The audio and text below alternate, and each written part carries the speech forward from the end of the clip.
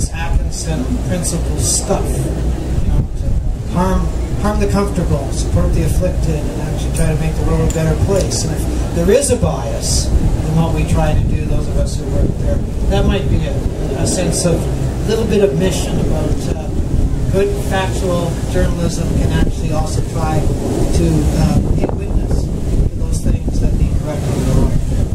For those of you who actually help us do that, thank you very much. Well, uh, thank you guys. Terrific.